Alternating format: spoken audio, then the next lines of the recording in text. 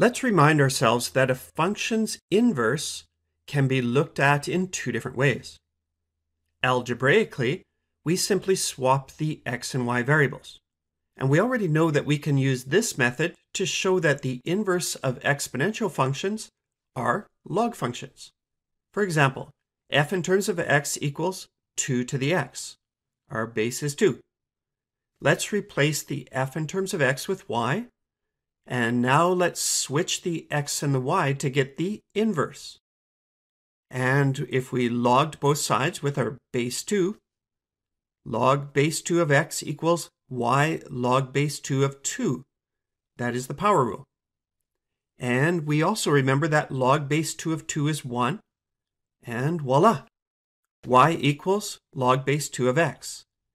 Same base, and we see that it is the inverse of our exponential function.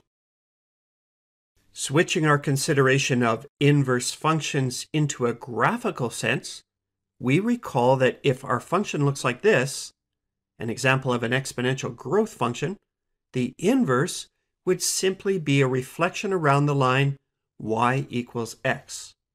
And it looks like this.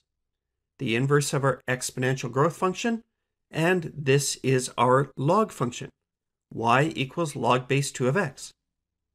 Our y-intercept from the exponential function, that is 0, comma 1, becomes an x-intercept in the inverse or log function, 1 comma 0.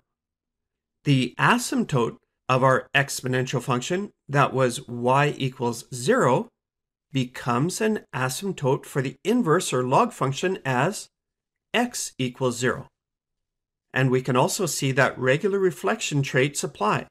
That is, each point in the original exponential graph gets reflected straight across the y equals x line and end up at the same distance but on the other side of the line.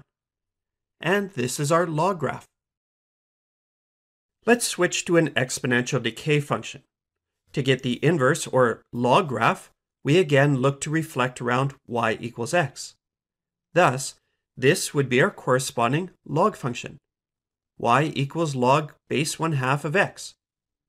Our y-intercept from the exponential function, 0, comma 1, becomes an x-intercept in the inverse log function, 1 comma 0.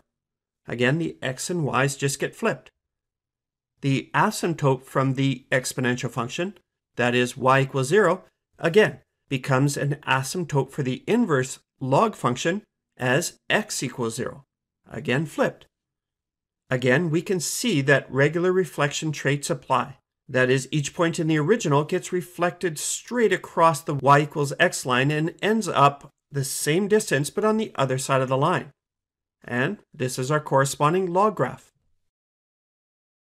In this tutorial, we resorted back to our knowledge of both the shapes of exponential graphs and our definitions of inverse functions. And we established a quick way to sketch a log graph. Whether an exponential growth or decay, we can simply reflect around y equals x. The y-intercept becomes an x-intercept. The asymptote of y equals 0 becomes an asymptote of x equals 0. And the general shape is easy to sketch from there, based on your knowledge of reflections.